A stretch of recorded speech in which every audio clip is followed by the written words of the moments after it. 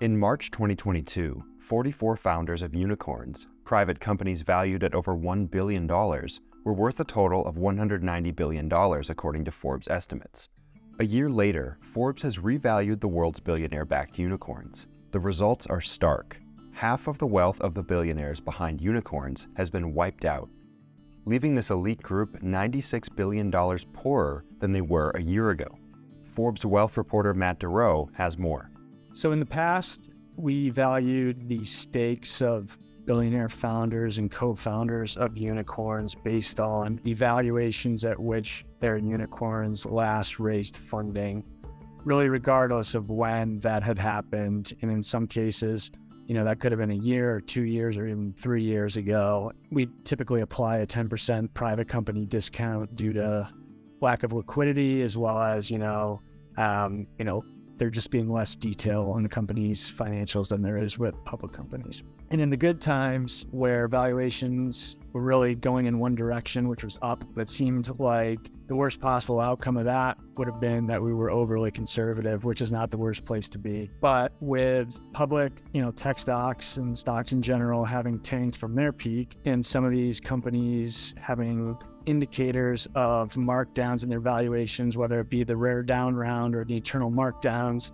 Um, you know, that approach didn't seem to make very much sense given this unique uh, point in time. So this time around, we worked with three data providers who mark these unicorns valuations to market, sort of like you would see for a public company on Yahoo Finance. And they do that using a number of things, but primarily uh, the performance of comparable public companies, secondary market activity, so trading of these unicorns shares in the private markets and then where available, uh, reporting by mutual funds who hold shares in these unicorns. And we, you know, took the input of that and uh, ran our updated valuations by uh, venture capitalists, investors, and others knowledgeable of the space as well as the specific companies. You know, I think we feel like we ended up in a pretty good spot that is reflective of the market and certainly a lot more precise than going off of the company's uh, prior funding rounds. The four unicorns that lost the most value over the last year were unique among the 30 or so unicorns that we looked at. The one that lost the most, Klarna, was the only one of the group that actually raised a new round of funding at a lower valuation. Around the middle of last year, they raised a new funding round in the $6 billion range, which is way down from a 45 ish billion dollar valuation less than a year earlier. And then the other three were ones, three of four uh, in our group of 30 that marked down their internal valuations. So that was Stripe, Instacart, and Checkout.com. And each of them marked their internal valuations to a level that was roughly $26 billion to $30 billion lower than external investors valued them at in their last funding rounds. So, other than FTX co founders Sam Bankman Fried and Gary Wang, who saw their combined fortune of around $30 billion go to zero when FTX blew up, the two biggest losers were Guillaume Pousaz of uh, Checkout.com, who saw his fortune fall by $16 billion or nearly 69%, followed by Victor Jacobsson of Klarna, who saw his fortune fall by nearly 80%.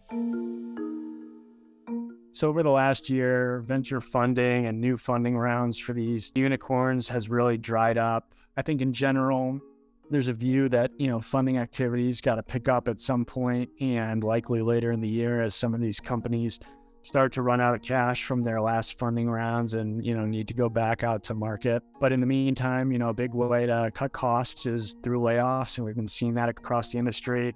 And then there's just, you know, a general uh, sense of optimism as well in the sense that you know if there's just a change in the outlook viewing these valuations of the last year or two as historical outliers that you know things can resume with you know valuations that are more in line with historical standards and that the companies can also sort of refocus on operational efficiency which in likely, you know, a lot of places probably sort of went by the wayside when money was flowing and, you know, things were good.